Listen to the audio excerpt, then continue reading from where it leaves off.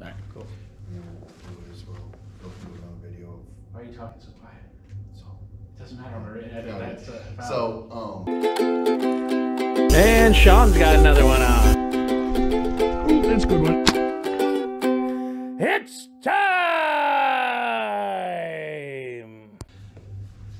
Everybody, Tom Truax and Shaun here, Truax Outdoor Sports, and today we're going to be talking about steelhead fishing. We're going to be talking about the tackle, uh, some tactics, and a new law that's kind of come in the books here in Michigan, uh, which I think overall we think is beneficial, right? yeah, it's beneficial due to the fact that, you know, our fish of the steelhead fishing has declined and everything. Um, with some of the rivers and everything that we have, you know, that are prime rivers, you know, that everybody goes to, you know. So basically, you know, Well, before we get into that, before we get into law, we're going to talk about that after we talk about the tactics and all that stuff. So, uh, but uh, anyways, you know, I like to fish. I, I, I would consider myself an avid fisherman, but I'm not a steelhead person per se. I'm not a river fisher, other than on little rivers. You guys know I like to go on that forbidden river to talk about, the Little Manistee River. I'm working on it. I like going out there and I like using little spinner baits and some ultralight there in the spring. That's my favorite kind of trout fishing. I, for some reason, I, I don't know if it's my ADD or what, but for some reason, I can't stand bottom bouncing on a river and I can't stand float fishing. I, I did, you, you guys have seen the videos of me in the center pin uh, and Shaun was on center pin and, and you know, float fishing, it, it, it was better than bottom bouncing, but I, I'm just not a river fishing kind of guy uh, as much as I like other stuff. Maybe we got to go to another creek, you know, a smaller stream or something. Yeah, I don't know, man. Take you there, take the center pins out there, and get you out there. Maybe you'll like the smaller stream with the center pin. Yeah, I don't know. I, it's it's weird that you can be finicky like that. Right. I don't understand why I'm that way, but I, I just am, you know. Uh, but that being said, all right, the reason why I say all that is because today we're going to highlight Shaun because I would say Shaun is about as close to a uh, steelhead fisherman fishing pro as you can get. And so uh, today he's Well, going to talk about some of the uh, the lures that he uses, the flies, the beads, the jigs, the the, Wow. the rods, the line, basically every guys you everything you guys need to know to be a successful steelhead fishing uh, fishing fisherman. He's going to be trying to kind of just share his knowledge there. So, uh, Shaun, take it away, man. Well, I mean, yeah, I'm. I wouldn't call myself a pro. I mean, I've been doing it for a long time. You know, I grew up in East Jordan. You know, moved down here when I was eight years old. So you know, up there, you know, I don't remember catching panfish, bass, walleye, or everything. You know, with everybody. I remember catching salmon. I remember catching steelhead and lake trout. So we moved down here. Say the least, you know, we're fishing Lake Mitchell, Lake Halleck, and I looked at my mom and I asked her, "What are these fish? I'm not used to these fish." So, um, basically, I'm just, you know, I grew up fishing salmon and steelhead in the fall. You know, I started when I was knee high to a grasshopper. I, I caught my first salmon when I was two years old. So, um, You know, to, just to give you guys a story, and, and it, it, it's a kind of funny way to break the ice, I guess. Uh, my first steelhead was due to uh, Shaun here, and uh, it kind of went like this. So, you know, I, I can't even really count it as my first steelhead. Really, I, I think I don't think it counts for me. you landed it. I, I did land it. Uh, so what was happening is he was out steelhead fishing. I came down because I was like, you know what? I've heard that there's some smallie in here, and so I'm going to try to catch some smallies, uh, smallmouths on my bass rig, and see if there's anything in. And if you guys are familiar with Tippy at all, most of you are. Uh, Tippy, there's a coffer there uh, right at the dam, and you can fish above the coffer. And I was fishing above the coffer. And so, anyways, he's fishing below, just below the coffer, where it gets really, water. really fast there. And uh, all of a sudden, he's like, "Hey, Tom, come here." So I, I, I'm like, "All right," you know. I put my stuff down. I run over there. He goes, "Hey, hold this." And I grab it, and sure enough, there's a big old steelhead on, and I think it was uh, a 12 pound, 10 ounce steelhead that we ended up catching, pulling Yeah. out of there. That was a lot of fun. I'll try to find the picture and I'll put it in the video here. But that was my first experience catching a steelhead, and, and that was due to Shaun and what he does here. And then we, we went to, just before that, a couple years before that, we went to the Betsie River for the first time and he catch, he hooks into a salmon. I did catch a steelhead before that. So Yes, that you was did. not my first No. steelhead. I did You- catch you a caught it steelhead before yeah, I I caught the salmon. Yeah, it That's was right. only, it was only 10, 12 inches, but it, It was just bigger like- than that. It No. was like a 14 incher. No, well, yeah, maybe. Yeah, you know, because it was between it was, 10 and it was an 14. eater. Yeah. And he caught it on spawn. Yep. Um, I forgot all about that one. What was funny is though is he hooked into a really nice salmon. This was fun. he hooked into a nice salmon. We had to chase the salmon down four bends at Betsie River. Like we're jumping over logs and and like I jumped over this one log and there was a hole on the other part of the log and I almost filled my waders, so that was a little crazy there. And uh, yeah, that, He that called was, me ninja. dude. He was he was in front of me and he would like he would like guide the you know I was like don't touch the line because you know usually a line's under tension it snaps. And so he's, he's like pushing the line underneath the log jam. I don't know how we did it, but we did it. We managed to make it work. Put it in the saddle right here. Yeah. You don't grab the line. You gently move the line. You know that. Uh, just, just I know we're going to be talking about this tackle and everything, but uh, uh, that that day though did show me that there still is honor among fishermen. Right. Uh, we got it. It got about, or we got it to where it was about half a bend. it got about away. thirty. It got about forty yards away from us. Yeah, forty or more Well, yards. we, we had gotten we had gotten some ground on it because it was a like two and a half bends away, and we got some ground on it finally. And it was about half a bend away of the river, and uh, this guy had swam right, swam right under this dude's leg, and, and this dude just takes his pole, throws it up on the bank, grabs his net, and nets it for us. So I was like, hey, you know what? There's still honor among fishermen. Yeah, that dude was really cool. I want to give kudos, guy. If you're watching this, thank you very much. That was awesome. I know it was like five years ago, but four years ago. Gosh, time flies. What was it? 20, uh, 2017, 2018. Yeah. So yeah, about four or five years My goodness. Anyways, so so kudos to you who uh, helped us net that awesome salmon there. But anyways, those are my steelhead salmon stories. but but so Shaun, talk about um what is. Well, I guess let's talk about the tackle first that you're using these flies and and their Well, uses. A lot of my flies I get from a local guy. He's a really good guy. He's got a master's in uh, the fisheries industry. You know, he's grew up here. He's fished Tippy Dam, the Bear Creek, PM, and all those rivers all his life, and he knows what flies to tie. All right, so basically, I buy a lot of my flies from him. I also buy flies from a local bait shop called Pilgrim's Village in Cal. Like everybody, pretty much, if you come up steelhead fishing from downstate or from north or something, you know Tippy, or you've just been to Tippy before and you've stopped at Pilgrims, you know where it's at in Cadillac. Um, there's also Fisherman's Headquarters, there's Pappy's, Yeah. Hank and Sons, there's yeah, and I uh, would definitely want to give a shout out to all those local bait shops because they're all excellent, excellent in their own right. Um, you know, um, Pappy's, I- Hank and Sons, I believe Fisherman's I Headquarters. believe Fisherman's Headquarters just got sold to somebody new because you know, I haven't been in there in, in forever because I just haven't. Because there was there was that for sale sign Yeah. there and then it's all of a not sudden it's for gone. sale. So I, I I don't know. I hope it got But bought. yeah, there's different stuff. There's different beads out there. There's different companies for beads. They range anywhere from, and I'm not joking. They range anywhere from two ninety nine to seven ninety nine. Um, depends on which ones you get. Um, Do, does cost matter? Do you think? no, I- I've used every single bead out there, and I've caught. Um, my favorite bead is this Glow Row Peach right here. Mm-hmm. This one right here with a black and purple spring wiggler, which, matter of fact, right here, Mm-hmm. you put the bead up top, you peg it above the hook, two to three fingers, you put the fly below it, tandem, tied to the hook, and I tell you what, I've caught more steelhead on this setup than I have anything else. So can you explain uh, how do you rig that up? That that setup using those two together? So you take, you got your line and everything. So basically, you take your line. Um, I wish I didn't forget my line. Sorry. so you put the line, do the bead because there's a hole pre-drilled, and there's pegs. As a matter of fact, Tom, if you can reach in that pocket right there Alright. on the tackle bag. Yeah, that's fine. These got different ones in them, so no, this has got the clear end. Okay. And there's different color pegs. You got orange and clear. That's what I basically use. Um, Does color really matter for the pegs? no, not really. Uh, unless you leave a um, peg longer than what you're supposed to, Hmm. and um, you use a clear one because if you use a clear one, it looks like a egg is hatching. Oh. So because when the egg is hatching, when that baby fish is coming out of the egg, it's a clear fish. Yeah. It has no coloration, no you know solid. Would that excite the fish more, or Yeah, because they are cannibals? Yeah, because the movement and everything, Yeah. you know, and you know they fight over beds. You know that's how they get scarred up. That's how they get beat up and everything. Um, it's how their tails get messed up. You know, Mhm.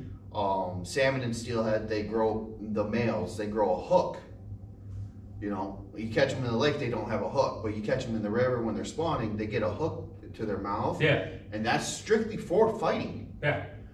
So you take a peg, you peg it onto the line, you cut the peg off, and then you put the hook um, below the peg or the Mhm. bead, two to three fingers. I always. And so you slide the bead onto the peg to keep the bead there, right? yeah, you always slide the peg onto the bead, Okay, and it yeah. cinches it to the line and holds Yeah, it in place. So it's all a pressure system. Yep, and that uh, there are people that use rubber bands, Mhm. and there are people that use um, toothpicks. Yeah. Me using a toothpick, that's kind of scary because that can scar the line. I was gonna say that sounds like something that could fray the line, and Yeah. I want to avoid that. Yeah, scar the line, fray the line. Um, Yeah. a lot of people burn the line. Yeah, You know, there's yeah. several different sayings. Um, for me, I don't use um, fluorocarbon. I use a copolymer. Okay. Um, Maxima is a copolymer. A lot of people don't realize that. Mhm. Um, it has stretch but no memory. Like unlike fluorocarbon, it has stretch and memory. Or no, fluorocarbon has no stretch, but it has a lot of memory. Right. Yeah. So where Maxima, which is on all my rods, um, I use High Vis and Ultra Green Maxima. I've been thinking about trying out the Chameleon, but I'm stuck in my ways. Yeah. Um, I have no, I haven't had any issue. You know, I change it out every year, um, sometimes twice during the fishing season, um, two to three times, because you know sunlight, you know weather and everything, it depreciates your line. Oh yeah, not, absolutely. Not So depreciates. you only change it out every two years, though, really? No, no, no, two to three times. Two to times three times a year. Okay. during the season. Okay, that makes more sense. I was like, because wait, what? you'll break off. I mean, every time you break off, when you break off your main line, you're losing a chunk of your That's main true. line. And in the river, you can lose a lot of line. Well, Hence why everything on the table is considered terminal tackle. yeah. Um, so, you know, we have wobble glows, which there are glow, there's solid colors, um, and these little beads right here, some are glow, some are not. So what you do is you put two, you put a wobble glow or a corky on above the hook, just like a bead, but you peg these instead of the corky because you want this corky to move Okay. um, it spins. So basically, it's spinning in the water. It's making noise, just like a chatterbait for a bass or a Ghost uh, bait or something like that. yeah. So it's making that noise in the water. So it's a reaction bite. It's an with it. agitator. Yeah, it's an agitator. Okay. So I mean, there's all you different. said tater. Haha, funny. Sorry. So there's all different flies. There's all different styles of flies. I mean, you can call. I mean, you can talk hours on Yeah. flies, hours on beads. Now, when you're steelhead fishing, do you ever use dry flies or is it mostly a wet fly kind of situation? Well, I mean, it all depends. I mean, there's dry flies and wet flies, and you know, because you're using, so your weight is here, you got a barrel swivel, and then you got your leader line. Yeah. And your leader line's always two to four pounds smaller than your main line. Okay. So you, you put your bead out, and then you put your fly, and then anywhere from a half ounce, three eighths, three quarters, uh, quarter ounce pencil sinker or bell sinker. You know, I use half ounce and three eighths nine times out of ten, but you know I do have three quarters because in the springtime when that snow melts off tippy and that water, that water can rise Yeah. and you know we've seen it um i don't know if you've ever been there but i've seen it above the second set of steps on the metal steps that go down to the river Really? oh yeah um i guess 10 years ago um before i got back into steelhead fishing the water was literally all the way up to the walking path and they were using one and a half one ounce one and a half and two ounces and they were just they said that's one of the best steelhead seasons they've ever had Huh. so, I mean, and then float fishing, we got these jigs, and I mean, there's mass produced jigs, and then there's people who make jigs. Um, you guys, I mean, know, uh, not to throw it out there, but I mean, you got addicted, you guys from Oregon who came here last year. They make their all their own stuff and Mhm. everything. You know, they have worms, they have jigs, you know, and everything.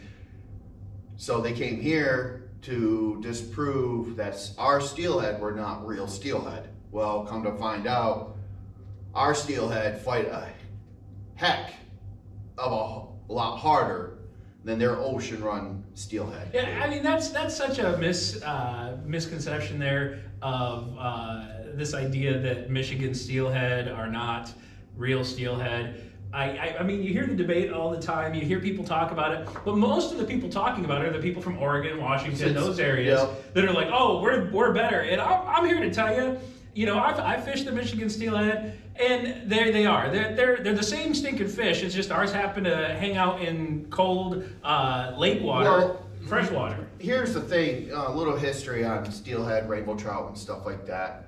Michigan is only got two natural trout in the whole state. Mm, That's lake trout and brook trout. mm, Brown trout are European fish. They come there. You got the German and you got the English or whatever. You know, Yep. British. Um, and then they got funky teeth. yeah, I mean, they taste good too, and they're beautiful fish. Don't get me wrong; they are a beautiful fish. Um, I got one. I got a German one up on my wall that uh, a couple years ago. I got out of the uh, out of Tippy during the salmon run. uh, Um, it was uh, 13 pounds and 24 inches. It was a female. I was going to throw her back until I realized that she had taken both my flies into her gills, and if I would have let her go, she was going to die. Yeah. So why not put her up on my wall where she's Sure. honored and Absolutely. respected? You know, she I mean, if you kill the fish, it's just going to die anyway, so you might as well at that point. Right, right. I mean, it doesn't matter if you hit one gill or two gills No. or all the gills. You're it, that Especially fish, with trout, because like I got, I remember I got yelled at because I didn't like wet my hand properly before I touched the trout. So if they're that fragile, which I believe they are, Yeah, they if are. They're that fragile. I mean, you you kill the fish, it's done. So you might as well absolutely put it on the wall for sure. Well, I mean, they have they have the oil and everything on them Yeah. to keep them, you know, from protected and everything. And then um, their scales, they're a soft scale fish. Mm. They're not a hard scale like walleye, Yeah. bass, pike, you know, panfish. Um, but the beads, you know, like I said, there's so many different companies. Um, so I buy um, Great Lakes steelhead beads. I buy. Um, there's. I've got so many different companies. I don't even remember the names of them all. So. Um, all right. but- So, but the beads is really an attractor, right? It's- yeah, that- it's yeah. So basically, what it is is the bead is imitates a floating egg off a bed. Mhm. So the steelhead come in right after the salmon. They're eating the salmon eggs that are floating off. So they're after food. You know, people say salmon and steelhead don't feed when they're spawning. That is a myth. Huh. How are they going to swim so many miles and so hard up a river? Why would they go after flies? Why would they go after beads? Yeah, you know, Yeah. they're feeding. So So and, and then like what- and like what you were saying, so you've got your uh, your sinker barrel swivel, Yep. um, long leader. It's two pound test lower than your main line. two to four, yeah. And then you've got your you you would put your bead generally, and then the hook below that, right? It's never yeah, you never got the hook. Yeah, you got the hook below the bead. You don't put the bead right on the hook, right? No. Because I think that's a lot of people make that mistake. Because when I first started, uh, ever ever going on salmon fish just on my own, it was always you know I'm just putting the thing on the hook like I do you know for a bluegill. Well, there are beads that you can put right on the hook, like these soft beads right here, and the soft beads. But that, but the that's closest usually to you, right that, there. Well, that would be usually when you're running Yep, like those uh, ones. I mean, feel those soft Yeah, and yeah. everything. They're like a miniature egg. Um, some of those are uh, those are made in Michigan. They're uh, called uh, steelhead candy. yeah, but you but I mean you do that when you're running a two bead kind of situation, right? Because you're still going to have that bead above the hook. Well, no, no, No? Okay. These you can run separate with just a single bead, and then you can tie a line tandem to Yeah. your hook to the uh, you know the elbow of your hook, Mhm. and you tie another line which is two feet short, anywhere from 18 inches to 24 inches, Mm-hmm. and that's shorter than your main Okay. uh, leader line. Yeah. So you you can run. There's people who run. I don't know why eight to ten foot. You know the saying is is run a leader longer than as about as long as your rod. Okay. But I don't. Sometimes I do by accident. or- Sometimes I do by accident. Sometimes, but then again, I try to run a leader line. My main leader line is from the very tip of my middle finger all the way up to my shoulder, Mhm. and then my short, and then my bottom leader line is from my elbow to, and that gives me So you run six. significantly shorter than a lot of guys do. Sometimes, yeah. But I would say, guys, just so you know, Shaun catches fish. so I'm gonna throw that out there, like especially you guys watching this. Oh, I do it this way, and it's always this long, and he he catches fish. The foot, the proof is in the pudding a little bit here. So Yeah, I mean- um, and we'll throw we'll throw up some pictures of, Uh, of got- fish that Shaun has caught in the past. Yeah, this year a buddy of mine actually hooked into one that was uh, a big salmon, 43 inches, and it was like 35 pounds, and we hooked it together. That was above the coffer, and that's where I use braid. I don't normally use braid, you know this. Yeah. Um, unless it's on my bait caster. Mm-hmm. Um, but normally, if I'm fishing below the coffer, I'm using my copolymer line, just for the fact that it breaks down in the water, Mhm. where braid does not. Yeah. So, you know, we get people fishing down below the coffer and they cut their braid, you know, just use their scissors. If we get a fish, that braid is gonna cut our line and Yeah. it ticks us off. Yeah, yeah, I get it. I get it. So, So we've talked about beads, and I think we've got a general idea on that. If you guys, by the way, have any questions, make sure you comment in the in the YouTube channel, or, or not in the YouTube channel, but in the Yeah, uh, in the video. And Shaun or myself will answer those questions uh, in the comment section. So feel free to comment and ask questions because we are totally cool with and answering I questions. have taught, I don't know, um, I have taught a lot of people how to salmon fish. I've taught a lot of people how to steel fish, steelhead fish. And uh, a couple years ago, I taught um, this guy and his brother, both in their 60s. They're steelhead fishermen, but they've never fished for salmon. Mhm. And it's like, it's just like fishing for steelhead. You're Yeah. using the same tackle, you're using the same tech techniques and everything. Um, just with when you're running a center pin, you want a heavier duty rod and you want heavier line and everything. But for me, I can take out my ultra green. Uh, um, they're in the red sleeves right there, as you guys can see. Those that's my green uh, line. So I take my ultra green and I don't use anything over 12 pound test. Mhm. And I land 25 and 30 pound fish Yeah. on 12. You've seen it. Yeah, yeah, yeah. You've seen it. I, I landed one because I was using it. Um, yeah, so um, before we go into the rods and, and line too much further, let's talk about jigs real quick. Okay, so the jigs, um, basically, um, you got, bring them up here so you guys can see real close. Now we can actually bring it closer here to Yeah. the, the camera there, just so you guys can see. Hopefully, you guys can see that in there. And Tom will probably take a picture just to. So you got the marabou jigs. You got the marabou jigs, which you don't need to put nothing on. Some people will put a waxy or a piece of shrimp. And it's funny how, you know, for Add like- a little flavor. add a little flavor and it's really funny because you can use in Michigan we don't have wild shrimp in our lakes. We I mean we do have freshwater shrimp but they're so tiny that you can barely see them and they're not worth eating. Yeah. but um all you got to do is just tie that on. And that's about one eighth ounce I believe if I remember correctly because I got this I got a couple of these from Myers and then a buddy of mine um, right here. This one was handmade. Um, it's you know it has a lot to do with the flash and you know shiny stuff it's just like a raccoon you know they see something shiny you got sidetracked there. You were talking about shrimp. Oh, well, so the shrimp, um, ocean, you know, Yeah. they're an ocean uh, animal. So we don't have it in Lake Michigan and everything. You know, we got plankton, but we, we don't have shrimp. But yeah, it's one of their favorite foods, and it's like almost ingrained after thousands of years in their head. Hey, that's food.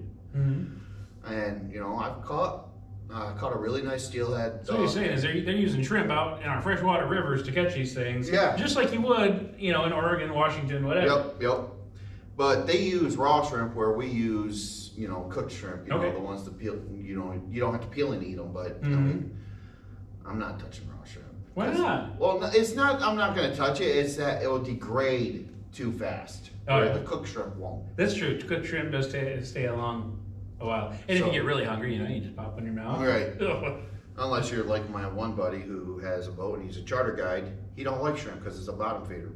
oh. We've had conversations with Brad, by the way, uh, about bottom feeders and. Uh, uh, yeah, he don't he don't eat bacon. Uh, he don't eat shrimp. Uh, he won't eat tilapia. That's all right. That's all right. You know, in, in my opinion, every and, and I, I know this to be true. I've caught every single fish on the bottom at one point. Right. Okay. There ain't a fish alive that I haven't caught eating something from the bottom. So the truth is, all fish are, bottom feeders. You hear us, Brad? Ah, we love you. We love you, Captain Brad at Michigan Guide Service. Uh, So, anyways, jigs. Um, Ninety percent of my jigs in here, they're all handmade by a guy. Um, he's uh, he lives here in Michigan. Um, you're gonna be talking about him. I've fished with him before, um, but I do have some store bought jigs. They're the jamming jigs. You know, everybody knows the jamming jigs. People use them during ice fishing season. They use them for trout and stuff, crappie. But I mean, like he's just. I mean, he's got so many. It's so hard to just hit. I mean, different colors. These ones. The reason why I have so many of the Wonder Bread and Wonder Mess is because these are hitters. Mm. Whether it's got a piece of shrimp on them, a micro pink worm, which I don't have any with me, I believe. Now, Wonder Bread and Wonder Hitters are from Jibb's No. Jigs, right? Yep, these are jibb jigs. Well, no, I call them Wonder Hitters. Oh, okay. But this is the Wonder Bread. Um, it's got the colorations of Wonder Wonder Bread, the wrapping of the Wonder Bread bread. Yeah. Hence why it's and then Wonder Mess. A Wonder Mess. That's Yep, Wonder Mess. Which the only difference is is it's literally a mess of paint. Yeah. It's not. I've caught fish with these ones also, so I can kind of vouch for Um, them. so I mean, we got sunset, sunrise, candy corn, like pink glow zebra. Like he makes glow in the dark ones. He makes solid colored ones, and I've caught fish on every single jig in here. Every single color of jig that I have in here, I've and he comes out with new variations every year.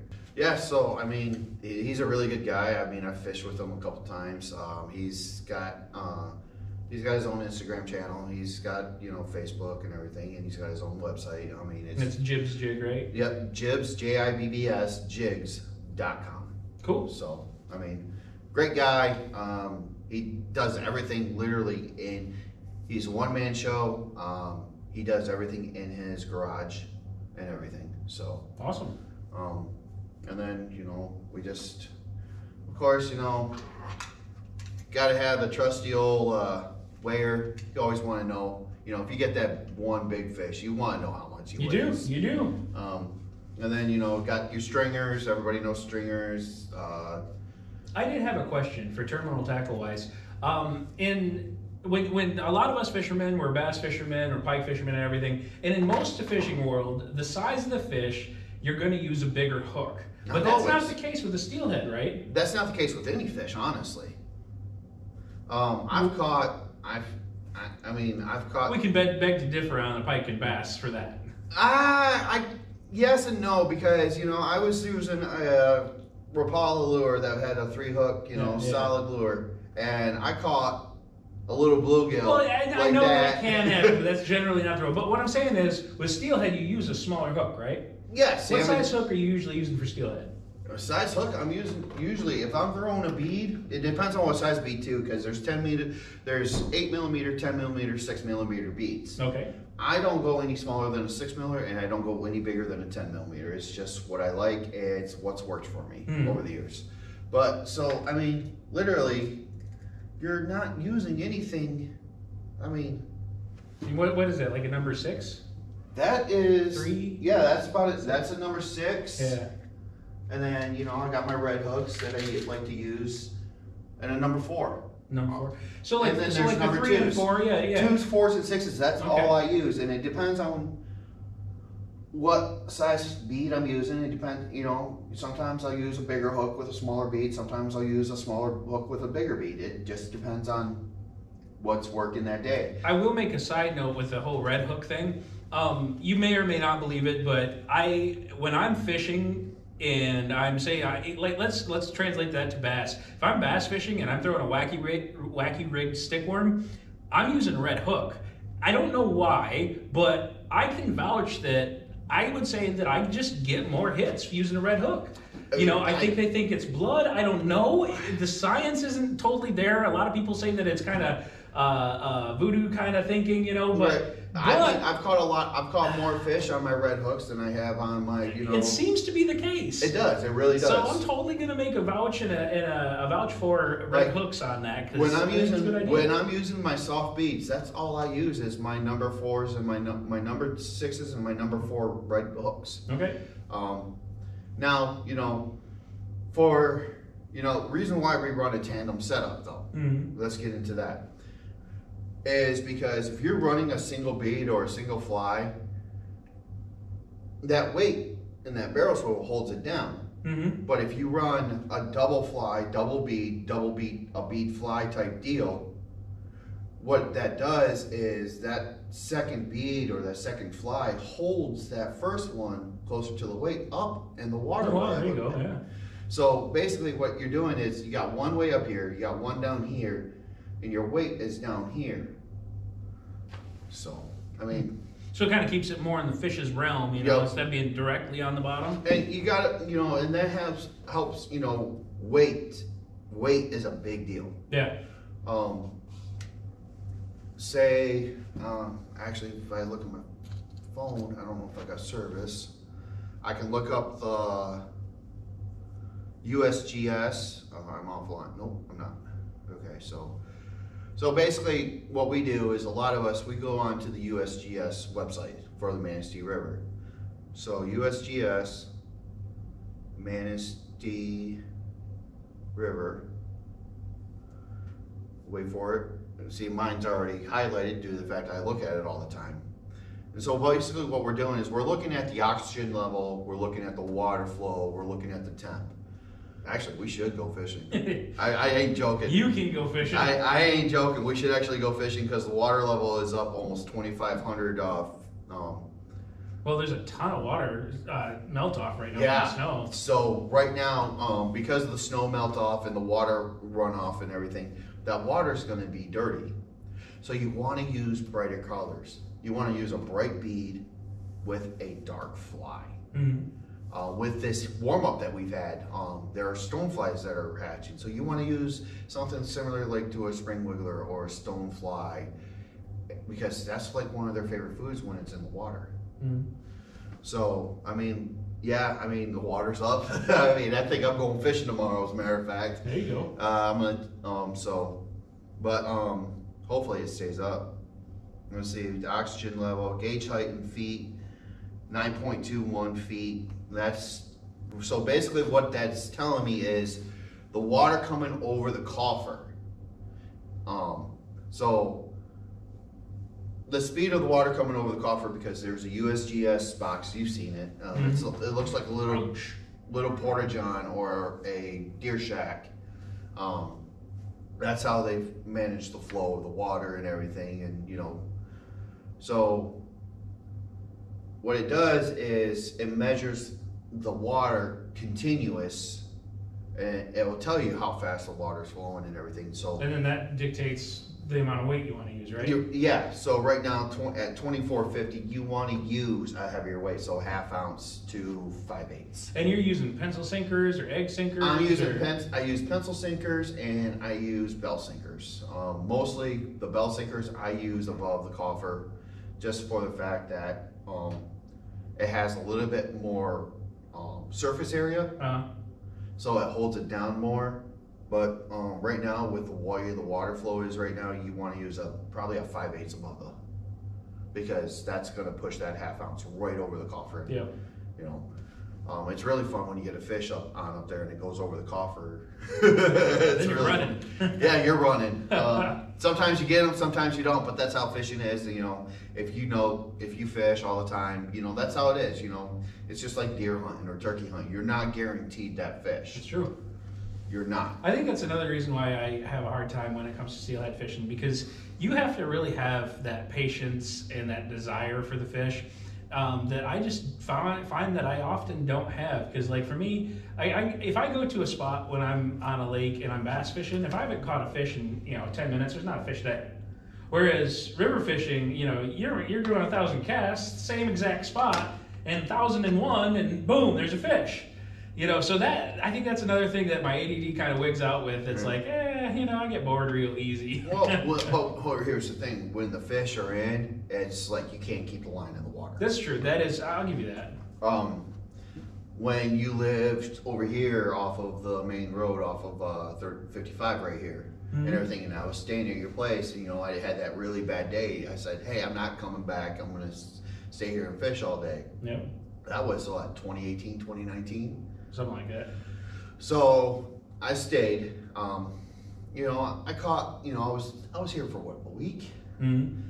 So I got here what Thursday. Um, I caught two Thursday. I caught one Friday. I didn't catch none that Saturday because we had that really heavy warm up that Mhm. weekend in April. That very first weekend of April, we had 70, 75 degrees that first weekend of April.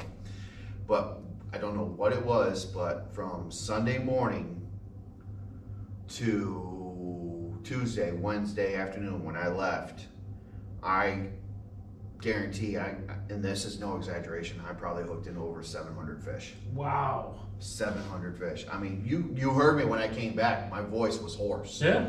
because that was me screaming fish on or fish coming down. Because if you get a fish on and you're above a lot of people, you got to yell that crap. I'm sorry, but you do. Um, because that tells people there's a fish coming down. Get their lines out of the water. So let's move on, and uh, we've talked about sinkers, weights. We've talked The about different kinds beads. of flies. We've There's talked so about many different flies. I mean, we could we could go days on Yeah, yeah. flies, well, we, hours. Well, we've touched on kind of setups and everything with that. So let's uh, let's get to rods. Let's talk about one of each one, and uh, All right, so then we'll talk about new rule.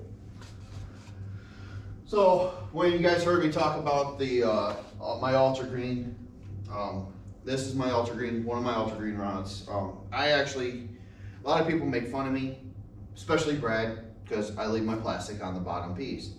There's a reason why I leave the plastic on my bottom piece because if I want to ever upgrade my rods, I can, and because this cork right here will be really nice still. So also another reason is is I take a piece of masking tape and I put the poundage of test line that I have on my reel. Hmm. So I know There's a cool pro tip. yeah, I mean, I don't know how many people do it, but it's just something I do. Just because you know, if I want to use a lighter line, if I know the fish aren't, the fish are being skittish, I go to one of my rods that have a lighter line. Um, this is a Fenwick HMX, ten foot six. I love them. Length of rod is important, right? Yes, yes, length of rod is important. Um, nine foot is a good length for somebody who's shorter and everything, you know, because, but what it does is the longer the rod, the lighter the line you can use. If I really, really wanted to, and I wanted to tick people off, I could take this rod, take this line off, put four pound test and use a two pound leader and catch salmon and steelhead all Yeah, day. because it, the longer your rod, the more the rod does the work Yep, as the opposed to the backbone. line. Yeah. The backbone. Yeah. So, um, Pflueger President 40s, um, they, to me, they're the best reel for the money. Um, hey, I'm kidding. hey, how many fish have you seen? I'm kidding. I'm kidding. So it's just there- funny. It's kind of like the Ford Chevy debate, okay? It's just Yeah, a funny thing. I right. don't really care. So, this reel is, depending where you go, and depending on the, uh, ship, or the person, the company that the bait shop gets it from, or the store gets it from, is anywhere from 50 to 69.99 49.99 to 69.99 Mhm. um, it's the original presidents um, i don't mess with um, anything higher end just because they're a good reel I mean, if they, They- work at that price point, why mess with the higher end stuff? yeah exactly i mean I mean, we're fishing on a budget here, okay? I don't know if you guys know this, but we don't have any sponsors or anything. We're just doing this Uh, for ourselves. Not just that, I'm a disabled veteran on a fixed income. I take care of my mom and everything. So, I mean, but I mean, hundred dollar rod, sixty dollar reel, you can't beat it. Yeah. I mean, you've seen the fish I've caught on these rods. Um, these none of these are my original rod. Unfortunately, she broke. She's retired. She's sitting in my shed. She ain't going nowhere. The cork handle right here is all worn down from me holding it up there, and and these are the Michigan handles, which I absolutely love, just for the fact that there's the balance. And then I got my center pin rods. Um, you guys seen our one video about center pin fishing. I don't use a really expensive center pin re- reel, even though some people will say this one is expensive. Just what's nice is it comes with a dust cover, you know, Raven or not Raven bobbers, but yeah, Raven bobbers. Sorry, this one's 15 gram. And got three number fours, split shot that are non-removable. Um, line cinch, Kuma Venta 2 uh, from yeah, Akuma. Yep, Okuma Aventa 2. Caught a lot of fish, little ones, big ones. You know, 2020 we lost uh, we lost our right to fish the shoreline due to the pandemic because people were coming from out of state. You know, steelhead or you know steelhead crazy, being jerks to the DNR. DNR and everything. We lost our right to fish from shore. So For that for, time. for that time being. I mean, we we can go now. They didn't do it last year because they lost. They realized, oh wait, we lost a lot of money. Yeah. I mean, they did. They lost millions. Money talks.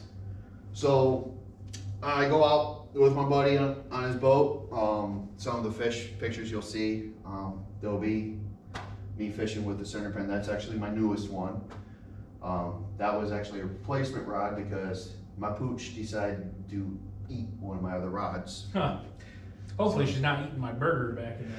No, hopefully not. If she is, she's in trouble. And then I got these rods. Like I said, every rod back here is a Fenwick HMX. Um, that one, sorry, I forgot to say the size. These are the 12 sixes, almost 13 feet, which is really good for. And you cen- need that for center pin because you got this little tiny thing that you're using to, Well, I mean, they to got, reel with. the- there's Danny Colville, there's Raven, there's uh, Blood Run, and everything. You know, there's all different types of center pins. I'm waiting for a Pflueger to come out with one so There I can go. get Pflueger. So I mean, All right, so this is pretty. That, that we pretty much walked through uh, our uh, tackle. You know, the the jigs, the weight, the beads, uh, how you how you put those on with um, the um, And- pegs and everything. and we'll get a better video. You know, we'll get. We'll kind of show you how rigging and everything. Yeah. Um, we talked about the rods and reels. So, finally, to the point in the video that a lot of people probably are tuning in for. Uh, explain this new rule as, as, as you know it. Okay, as I know it, um, it came out about. It's been in the works for a while now, from what I've read up and everything on it. So, basically, um, our steelhead have declined in the Mhm. last ten years by over five hundred thousand fish. Wow. Um, honestly, I think the, I like to think that. Honestly, I have this gut feeling. Honestly, not think. I have this gut feeling that we're losing our steelhead due to the fact that we got all these millionaires. You know, these new millionaires. You know, that are winning the lottery. You know, these young millionaires come. You know, from Bitcoin and everything Uh, that have bought property along the lakes, Lake Michigan shoreline, and they're putting chemicals into their grass to keep their grass nice and green, their trees nice and pretty. What they don't realize is those chemicals are draining off into our lakes, killing our plankton, killing our algae. And so, it's a theory. yeah, 2000, uh, they say from since 2011 to now, we have lost over 500,000 steelhead Wow. in our fisheries. Um, and they've only limited it from, and it start, it goes into effect, uh, I believe January 9th. Um, so, So what Oh. is it?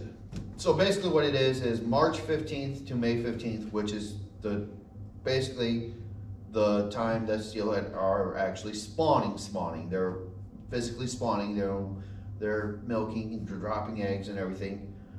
Uh, from March 15th to May 15th, you're only allowed one fish over 15 inches One one fish per, per time out, or Per- one fish for the whole season? Well, per day. Per Okay. day.